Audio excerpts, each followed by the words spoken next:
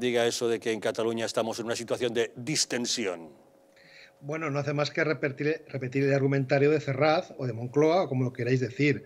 O sea, es una mentira como la Catedral de Burgos, porque tenemos a esta gente, al separatismo, mm, subidos tirados al monte, siguen hablando de llanita republicana, siguen haciendo feos al rey, siguen hablando de que lo, de que lo volveremos a hacer, siguen incumpliendo las sentencias de la justicia, como la reciente del Tribunal Superior de Justicia de Cataluña con respecto a repartir los exámenes de selectividad en castellano. Por lo tanto, aquí no hay ninguna distensión. Aquí lo que hay es una bajada de pantalones por parte del Gobierno de España, porque el separatismo sigue en sus trece y no ha cedido ni un solo ápice. Aquí, en todo caso, lo que habría que distender sería un poco la presión de ese rodillo nacionalista excluyente hacia más de la mitad de la población de Cataluña, ¿no?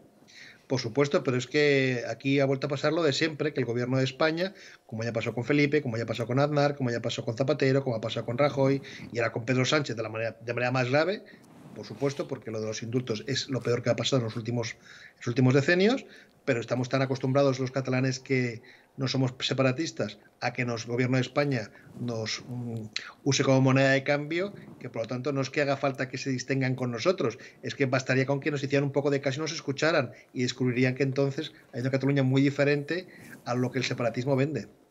¿Por qué tienen tanta prisa en conceder los indultos a los sediciosos?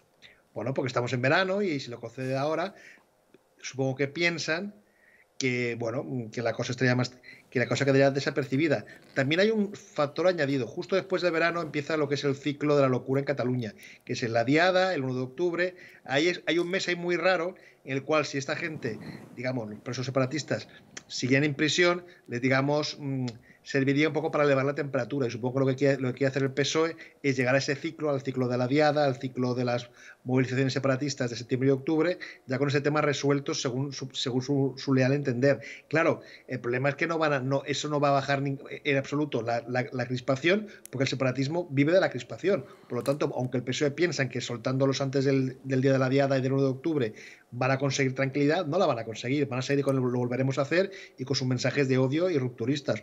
Pero bueno, claro, en Moncloa tienen una estrategia y Pere Aragonés y Carlos Puigdemont tienen las suyas.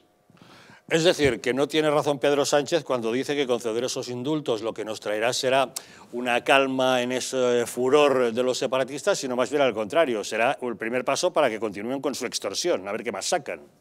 si, Pedro, si Pedro Sánchez quiere conseguir los votos de Esquerra Republicana y de Bildu en el Congreso, a menos que no nos tome el pelo. Me explico. Los indultos son solamente para eso, para que Bildu y Esquerra en el Congreso le sigan prestando apoyo.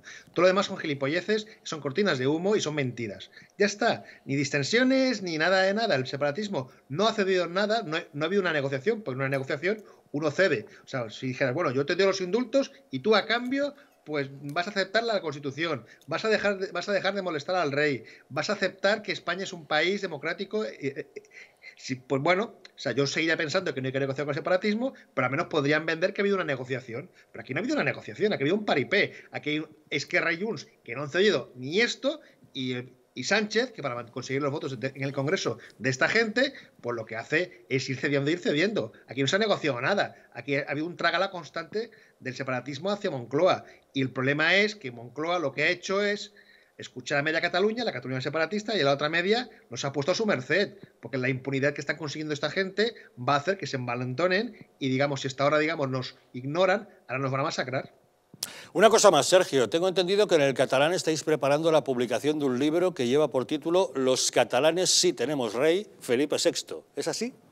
Exacto, estamos haciendo una campaña de crowdfunding en la plataforma GoFundMe porque queremos demostrar, bueno, es que, por ejemplo, lo que está pasando estos días, que es impresentable que el gobierno de Cataluña esté, gobierno autonómico siempre, por supuesto, esté ninguneando al rey, pues, pues intentando no acudir a los actos a los que el rey viene a Cataluña. Y por lo tanto, ante el mantra separatista falso que dice que no van porque dicen que los catalanes no tenemos rey, queremos hacer un libro de testimonios de catalanes que digan, sí, sí, sí que tenemos rey, nos estamos muy orgullosos y nos encanta que además sea Felipe VI.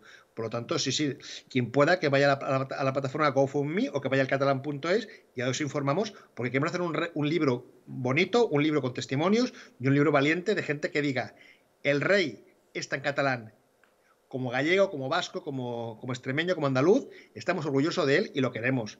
Porque lo del separatismo, estas mentiras son, son terroríficas. Don Sergio Fidalgo, director del catalán.es, muchas gracias como siempre por acompañarnos en Los Intocables. Al contrario, gracias por todo el trabajo que hacéis, la cobertura que nos prestáis, porque sin gente como vosotros la batalla en Cataluña está perdida. Hace falta que en toda España se sepa lo que está pasando aquí. Pues nosotros vamos a seguir contándolo. Venga, Sergio, hasta luego. Buenas noches. Eh, Alex, ¿cómo lo ves?